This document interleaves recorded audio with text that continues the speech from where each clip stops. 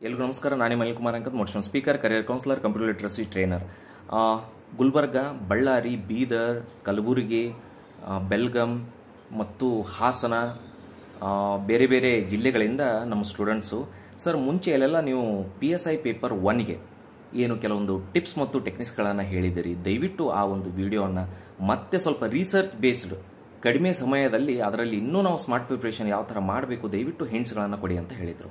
Exclusive ಆಗಿ ಎಲ್ಲ ಭಾವಿ ಅಧಿಕಾರಿಗಳಿಗೆ, ಎಲ್ಲ ಪಿ ಎಸ್ ಐ ಆಕಾಂಕ್ಷಿಗಳಿಗೆ ನಾಳೆ ನಾನು ಕೆಲವೊಂದು ಟಿಪ್ಸ್ಗಳನ್ನು ಮತ್ತು ಟ್ರಿಕ್ಸ್ಗಳನ್ನು ಹೇಳ್ತೀನಿ. ದಯವಿಟ್ಟು ಅದನ್ನು ನೋಟ್ ಮಾಡ್ಕೊಳ್ಳಿ. ಆ ಪೇಪರ್ವನ್ನು ನೈಂಟಿ ಫೈವ್ ಪರ್ಸೆಂಟೇಜ್ ಜನ ಕ್ರ್ಯಾಕ್ ಮಾಡೋಕ್ಕಾಗಲ್ಲ. ಜಿ ಕೆ ಏನಾದರೂ ಮಾಡ್ತಾರೆ, ಈ ಡಿಸ್ಕ್ರಿಪ್ಟಿವ್ ಪೇಪರ್ ನೈಂಟಿ ಮಿನಿಟ್ಸ್ ಇರುತ್ತೆ.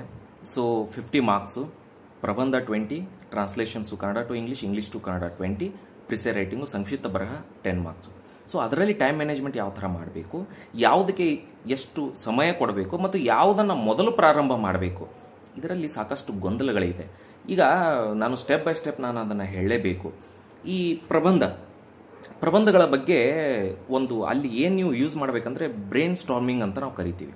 ಕೆಲವೊಬ್ರು ಏನು ಮಾಡ್ತಾರೆ ಫಸ್ಟು ಟ್ರಾನ್ಸ್ಲೇಷನನ್ನು ಮಾಡ್ತಾರೆ ಪ್ರಿಸೈರ್ ರೈಟಿಂಗ್ ಬರೀತಾರೆ ಅದಾದ ಮೇಲೆ ಪ್ರಬಂಧದ ಕಡೆ ಹೋಗ್ತಾರೆ. ಯಾಕೆ ಗೊತ್ತಾ? ಅದೊಂದು ಟ್ರಿಕ್ ಈಗ ಯಾವಾಗ ನೀವು ಬ್ರೈನ್ ಸ್ಟಾರ್ಮಿಂಗ್ ನೀವು ಟ್ರಾನ್ಸ್ಲೇಷನ್ಸ್ ಬರೀತಿರ್ತೀರಿ ಅಥವಾ ಪ್ರಿಸರ್ ರೈಟಿಂಗ್ ಬರೀತಿರ್ತೀರಿ, ಅವಾಗ ಆ ವಿಷಯ, ಪ್ರಬಂಧ ಏನು ಚಾಯ್ಸ್ ಮಾಡಿರ್ತೀರಿ, ಐದರಲ್ಲಿ ಒಂದು ಟಾಪಿಕನ್ನು ತೊಗೊಂಡಿರ್ತೀರಿ. ಅದು ಪಾಲಿಟಿ ಬಗ್ಗೆ ಇರ್ಬೋದು ಸೋಷಿಯೋ ರಿಲಿಜಿಯಸ್ ರಿಫಾರ್ಮ್ಸ್ ಬಗ್ಗೆ ಇರ್ಬೋದು ಇಕಾಲಜಿಕಲ್ ಇಂಬ್ಯಾಲೆನ್ಸ್ ಪರಿಸರ ಮಾಲಿನ್ಯ ಬಗ್ಗೆ ಇರ್ಬೋದು, ಅಥವಾ ಈಗೆಲ್ಲ ರೋಗ ರುಜಿನ ಕೊರೋನಾದ ಬಗ್ಗೆ ಇರ್ಬೋದು. ಸೊ ಅಲ್ಲಿ ಐದರಲ್ಲಿ ಒಂದು ಬರೆಯೋದು ಅಂದರೆ ಒಂದಕ್ಕೆ ಇಪ್ಪತ್ತು ಮಾರ್ಕ್ಸ್ ಅಂತಂದರೆ ಹಂಡ್ರೆಡ್ ಪರ್ಸೆಂಟು ಏಯ್ಟಿ ಪರ್ಸೆಂಟ್ ನೀವು ಸಕ್ಸಸ್ಫುಲ್ ಅಲ್ಲೇ ಆಗ್ತೀರ. ಯಾವ ರೀತಿ ಟಾಪಿಕ್ ತಗೋಬೇಕಪ್ಪ ಅಂತಂದರೆ ಎರಡು ಪೇಜ್ ಆದಮೇಲೆ ಅದು ನೆನಪೇ ಇಲ್ಲ, ಅಷ್ಟೇ ಗೊತ್ತು ನನಗೆ ಅನ್ನೋದನ್ನ ಟಾಪಿಕನ್ನು ದಯವಿಟ್ಟು ತೊಗೊಳಕ್ಕೆ ಹೋಗಬೇಡ್ರಿ. ಇದು ಭಾಳ ಅಂದ್ರೆ ಭಾಳ ಇಂಪಾರ್ಟೆಂಟ್ ರೀ. ಇನ್ನು ಆ ಪ್ರಬಂಧದಲ್ಲಿ ಯಾವುದನ್ನು ಫಸ್ಟ್ ತೊಗೊಂಡು ಅದಕ್ಕೆ ಎಷ್ಟು ಸಮಯ ಕೊಡಬೇಕು ಅನ್ನೋದನ್ನು ಡೀಟೇಲಾಗಿ ನಾನು ಹೇಳ್ತೀನಿ ಕಾಂಪ್ರಹೆನ್ಸಿವ್ ಆಗಿ. ಇನ್ನು ಎರಡನೇದು ಬರೋದು ಟ್ರಾನ್ಸ್ಲೇಷನ್ಸು ಈ ಟ್ರಾನ್ಸ್ಲೇಷನ್ನಲ್ಲಿ ನೋಡಿ ಇಂಗ್ಲೀಷ್ ಭಾಷೆಯಲ್ಲಿ ತುಂಬ ಕಷ್ಟ.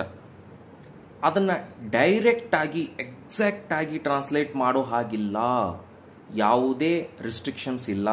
ನಿಮಗೆ ಅದರ ಮೇಲೆ ಆ ಒಂದು ಏನು ಒಂದು ಸೆಂಟೆನ್ಸ್ ಕೊಟ್ಟಿರ್ತಾರೆ. ಅದು ವರ್ತಮಾನದಲ್ಲಿದೆಯೋ, ಭೂತಕಾಲದಲ್ಲಿದೆಯೋ, ಏನು ಹೇಳ್ತಾ ಇದೆ, ಅದ್ರ ಬಗ್ಗೆ ನಾವು ಜಡ್ಜ್ ಮಾಡಬೇಕಾಗುತ್ತೆ. ಯಾರಿಗೆ ಹಿಡಿತಾ ಇಲ್ಲ ಲ್ಯಾಂಗ್ವೇಜ್ ಮೇಲೆ ಹಿಡಿತಾ ಇಲ್ಲ, ದಯವಿಟ್ಟು ಫಸ್ಟ್ ನೀವು ಇಂಗ್ಲೀಷ್ ಟು ಕನ್ನಡನೇ ಮಾಡಿರಿ. ಅದಾದಮೇಲೆ ಕನ್ನಡ ಟು ಇಂಗ್ಲೀಷ್ ಮಾಡಿರಿ. ಯಾಕೆ ರೀಸನ್ನು ಇಂಗ್ಲೀಷ್ ಅನ್ನೋದು ನಾವು ಏನು ಓದ್ತೀವಿ, ಅದೇ ಬೇರೆ. ಏನು ಬರಿತೀವಿ ಅದೇ ಬೇರೆ.